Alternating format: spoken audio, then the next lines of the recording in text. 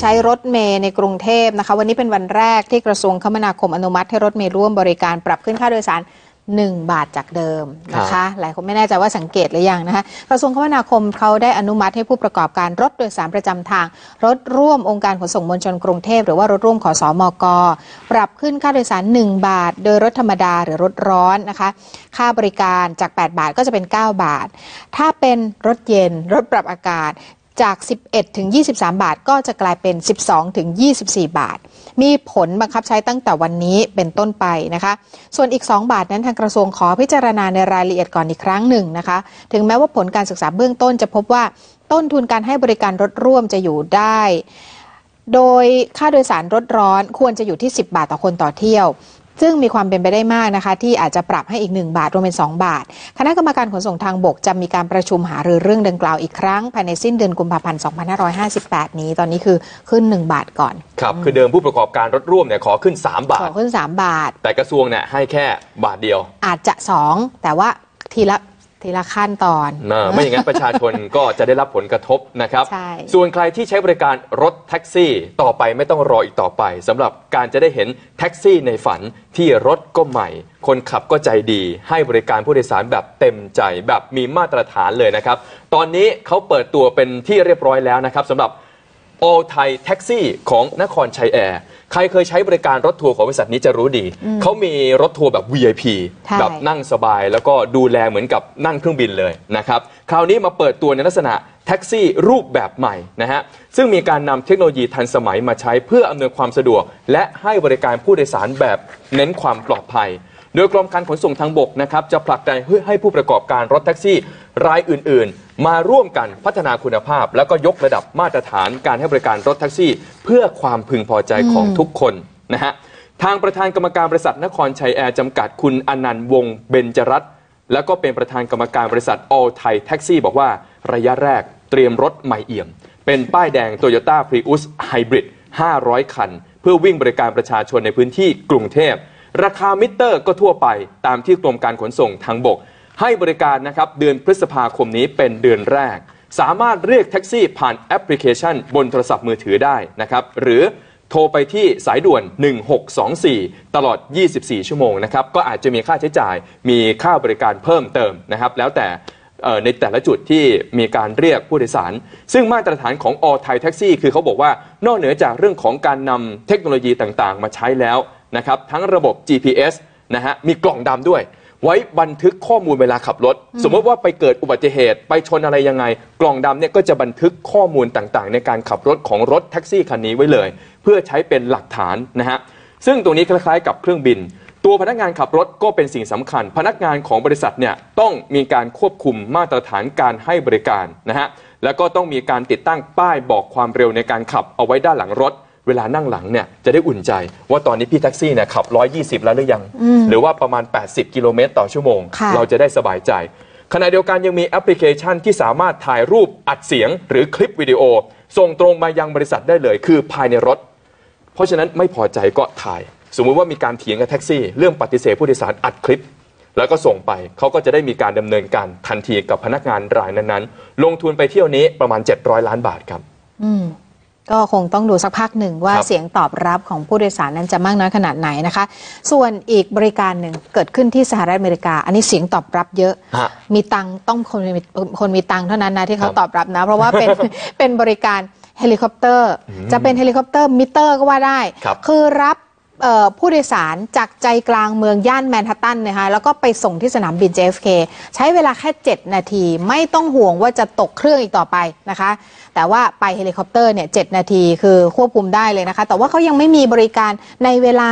ตามใจผู้โดยสารมากนักหรอกนะคะ เพราะว่าตอนนี้มีเฉพาะไปส่งให้ทันเที่ยวบินระหว่างเที่ยงครึ่งจนถึงบ่ายโมงของวันจันทร์ถึงวันศุกร์เท่านั้นก่อนนะคะ เป็นบริการของ Gotham Air คือว่าบริการเฮลิคอปเตอร์ที่รับส่งผู้โดยสารไปสนามบิน CEO ของเขาบอกว่าได้ไอเดียมาจากเหล่าคนบันเทิงที่เวลาน้อย เวลารัดตัววิ่งรอกงาน แล้วก็จะต้องไปขึ้นเครื่องนะคะ ก็ใช้เฮลิคอปเตอร์เดินทาง ทั้งไปขึ้นเครื่องบิน แล้วก็เดินทางไปยังสถานที่ต่างๆ ได้เร็วกว่าคนธรรมดาทั่วไป จึงอยากให้ผู้โดยสารทั่ว ๆ ไปได้มีโอกาสขึ้นเฮลิคอปเตอร์ เพื่อการเดินทางที่เร็วกว่าเดิมบ้างนะคะ เขาและทีมงานจึงได้นำพาหนะชนิดนี้มาเป็นบริการรับส่งไปยังสนามบินนะคะ ผู้ที่ขึ้นบินครั้งแรกคิดค่าโดยสาร 99 ดอลลาร์สหรัฐนะคะ ก็ ต่อไปจะมีการขยับขึ้นไปราวๆ199 จนถึง 219 ดอลลาร์นะคะ ก็คือเริ่มที่ 99 ดอลลาร์ แล้วก็ว่าไปตามเส้นทางแล้วก็ช่วงเวลาการบิน คนที่จะใช้บริการจะต้องไปรอขึ้นเฮลิคอปเตอร์ ที่ลานจอด heliport ย่านกลางเมืองแมนฮัตตันนะคะ แล้วก็จะไปถึงจุดหมายปลายทางในเวลาเพียง 7 นาที จากนั้นรถรับส่งภายในท่าอากาศยานก็จะมารับพวกเขาจากลานจอดฮอลล์เลยนะคะ แล้วเข้าไปยัง terminal เข้าไปในอาคารสนามบินเลย ผู้โดยสารจะต้องยื่นขอใช้บริการผ่านเว็บไซต์แล้วก็สำรองที่นั่งล่วงหน้า 30 วันก่อน สามารถค้นหาเที่ยวบินหรือว่าสำรองที่นั่ง ผ่านแอปพลิเคชัน Gotham Air นะคะทางบริษัทก็มีแผนที่จะเปิดตัวแอปพลิเคชันนี้ในอีกไม่กี่สัปดาห์ข้างหน้านี้นะคะ แนวคิดที่ใช้เฮลิคอปเตอร์แบบ Bell 407 เป็นแท็กซี่ ฟังดูทีแรกหลายคนบอกโอ้จะเวอร์ไปหรือเปล่าบ้าไหม ลงทุนอย่างนี้ใครจะใช้บริการนะคะ แต่เขาก็ชี้แจงว่า ขั้นตอนต่างๆ ไม่ได้แตกต่างไปจากการนั่งแท็กซี่เลยนะคะขณะที่เที่ยวบินทุกเที่ยวก็ผ่านการรับรองจากสำนักงานบริหารการบินแห่งชาติของสหรัฐหรือว่า FAA แล้วก็จดทะเบียนที่กระทรวงคมนาคมสหรัฐ DOT แล้วเรียบร้อย ผู้โดยสารอุ่นใจนะคะเขาตั้งเป้าว่า Gotham Air เนี่ยจะเกิดเติบโตในช่วงกลางฤดูร้อนปี 2015 จนขยายการให้บริการเที่ยวบินได้ในทุกชั่วโมงเลย ขณะเดียวกันก็อาจจะขยายบริการสู่ลานจอดเฮลิคอปเตอร์อีก 2แห่งในแมนฮัตตัน แล้วก็ยังมีแผนขยายธุรกิจสู่เมืองใหญ่อื่น ๆ อย่างลอสแองเจลิสอีกด้วยค่ะ ครับ โอ้โห สะดวกมาก ๆ แลกกับเวลานะครับ บางคนก็ยอมลงทุนเริ่มต้นที่ 3,000 กว่าบาท อนาคตอาจจะปรับที่เริ่มต้นประมาณ 6-7,000 บาท ต่อเที่ยวค่ะแต่บางคนก็บอกคุ้มกับเวลา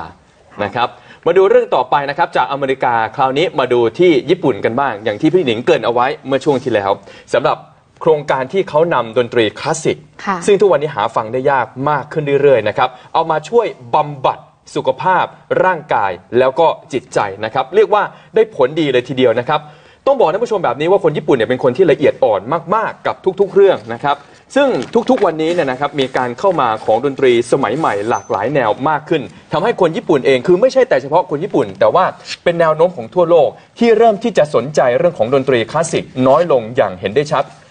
ในส่วนของวงออเคสตรานะครับเขาก็จำเป็นจะต้องทำมาหากินกันอยู่ วงวงใหญ่ ๆ วงหนึ่งที่อยู่ในญี่ปุ่นก็คือ Japan Philharmonic ก็เลยร่วมมือกับบริษัทเอเจนซี่โฆษณาลำดับต้น ๆ ของโลกอย่าง BBDO ผลิตโครงการที่ชื่อว่า Japan Pill-harmonic นะครับก็คือให้ดนตรีคลาสสิกเป็นยาทางเลือกใหม่ เป็นยาชูกำลังทั้งกายและใจ ส่งไปถึงหูของผู้ฟังนะครับ โครงการนี้เขาจะมีการบันทึกเพลงคลาสสิกของศิลปินระดับโลกเอาไว้นะครับ ซึ่งก็จะมีการมาวิเคราะห์กันก่อนนะครับว่า ดนตรีแนวนี้เหมาะจะบำบัดอาการของผู้ป่วยแบบไหน คือทั้งผู้ป่วยที่มีอาการในลักษณะที่แสดงออกมาทางร่างกาย หรือเป็นอยู่ภายในใจ ก็สามารถที่จะช่วยได้เหมือนกันนะครับ แม้แต่กระทั่งบำรุงความงามนะฮะเสริม ความงามนะครับทำให้ผิวพรรณดูเปล่งปลั่ง รูปร่างดีขึ้น เขาก็บอกว่าสามารถช่วยได้ เขาจะนำเพลงทั้งหมดบรรจุอยู่ใน SD card เห็นเล็ก ๆ แบบเมื่อสักครู่นี้นะฮะค่ะนำไปใส่ในซอง แบ่งแยกสีแบ่งแยกประเภทเลยนะครับว่า สีส้มนะครับเหมาะกับอาการแบบนี้ สีแดงเหมาะกับอาการแบบนี้ แล้วคุณหมอเภสัชกรก็จะช่วยจ่ายยา แต่แทนที่จะฉายเป็นยาเม็ดจ่ายเป็น SD การ์ดแทน อ๋อ แล้วเราก็เอาไปใส่ในอุปกรณ์ต่างๆ ทั้ง แท็บเล็ตก็ได้ โทรศัพท์มือถือก็ได้ หรือแม้แต่คอมพิวเตอร์ตั้งโต๊ะเอาไปฟังฟังบ่อยๆเหมือนเหมืคอลานสสิกจ่ายยาให้อย่างเงี้ยนะถูกฮะแล้วเขามีงานวิจัยมาค่ะรองรับหลาย ๆ ชิ้นว่าดนตรีคลาสสิกเนี่ยทำให้จิตใจของเราดีขึ้น และทำให้เราพัฒนาตนเองได้ดีมากขึ้น นี่เป็นงานวิจัยระดับโลกครับ ค่ะ สุดยอดมาก ๆ เลยนะคะ มีอีกเรื่องหนึ่งสุดยอดมากๆแต่ฮะเป็น ในบ้านเราสามารถมีส่วนร่วมกันได้เลยนะคะ วันที่ 15 กุมภาพันธ์นี้ หลังจากวันแห่งความรัก ยังอยู่ในช่วงสัปดาห์แห่งความรักนะคะ รักด้วยการไปบริจาคโลหิตฮะให้คนอื่น เวลาที่เขาเจ็บป่วยต้องการเอ่อถ่ายเลือดโดยรวดเร็วเนี่ยนะคะ จะได้มีคลังจะได้มีโลหิตอยู่ในคลังสำรองนะคะ ให้ไปกันที่สภากาชาติไทยแล้วก็จะได้รับปฏิทินชุดเลือดมังกรนะคะ อย่างที่เห็นอยู่นี่อ่าดูสักนิดหนึ่งก่อนนะคะ ปฏิทิน ชุดเลือดมังกรนะคะ ก็จะมีพร้อมให้สำหรับแจกท่านผู้ชมที่ไปบริจาคโลหิตที่สภากาชาติไทย โดยสถานีวิทยุโทรทัศน์ไทยทีวีสีช่อง 3 บริษัท Search Entertainment ผู้ผลิตปฏิทิน แล้วก็ Act Art Generation จำกัด ได้ร่วมการจัดทำปฏิทินชุดเลือดมังกรต้อน เสือสิงกระทิง แรดหง จากละครฟอร์มยักษ์แห่งปีที่มีเนื้อหาเกี่ยวกับประเพณีและคุณธรรมทั้ง 5 ประการของวัฒนธรรมจีน ซึ่งมีวัตถุประสงค์เพื่อการกุศลและช่วยเหลือสังคมค่ะ จะมีการส่งมอบความสุขให้ผู้บริจาคโลหิตสภากาชาติไทย 10,000 ชุด ในวันพฤหัสบดีที่ 12 กุมภาพันธ์ที่ศูนย์บริจาคโลหิตสภากาชาติไทยนะคะ มีผู้บริหารจากช่อง 3 ดารานักแสดงจากช่อง 3 มาร่วมมอบปฏิทินด้วย พิเศษสุด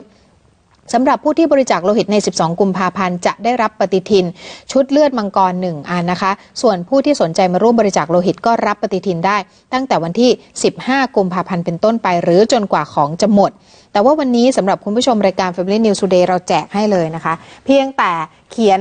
บอกรักคนในครอบครัวส่งเข้ามาโอ้โหอ่าในง่ายมากแฟนเพจ Facebook ของเรา Family News Today โพสต์เข้ามานะคะ 20 ท่านแรกรับไปเลยปฏิทินเลือดมังกร ครับ ไหน ๆ จะเสียเลือดเสียให้มีประโยชน์แบบนี้ เสียเลือดเสียเนื้อไม่ใช่เบา หน้าที่เรารักษาสืบไปครับ ไปพักกันเลยดีกว่าครับท่านผู้ชมครับ ช่วงหน้านะครับมาดูบางคนก็บอกว่าสุนัขเนี่ยเป็นเพื่อนที่แสนดี เป็นหนึ่งในสมาชิกของครอบครัว แล้วก็ค่ะเป็นแบบนั้นจริง ๆ มีตัวอย่างให้ดูเลยนะครับ เป็นสุนัขแสนรู้ตัวหนึ่งที่ใช้ตัวเองบังควันไฟให้กับเจ้าของ จนทำให้เจ้าของนั้นรอดชีวิตจากเหตุการณ์ไฟไหม้มาได้ ครู่เดียวกลับมาครับ โอ้